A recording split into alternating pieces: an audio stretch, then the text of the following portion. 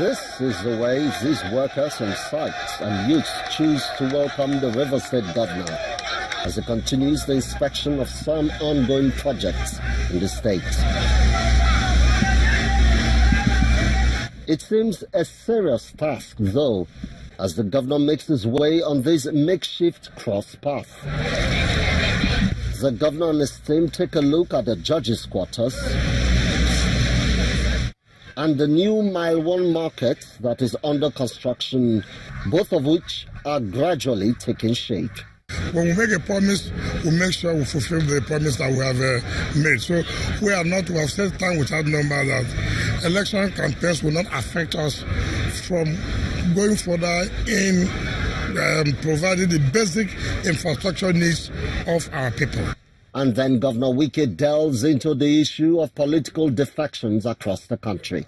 As the ruling party that has a majority before now in the two uh, chambers, had never had it easy because the people who are presenting them know that they have nothing for the people. So that, in fact, for me, it's even late. I expected this in more than um, a year ago. And I believe that more will happen. As preparations for the elections approach fever pitch, the people may be counting on fulfilled and unfulfilled promises by politicians to decide who gets their votes.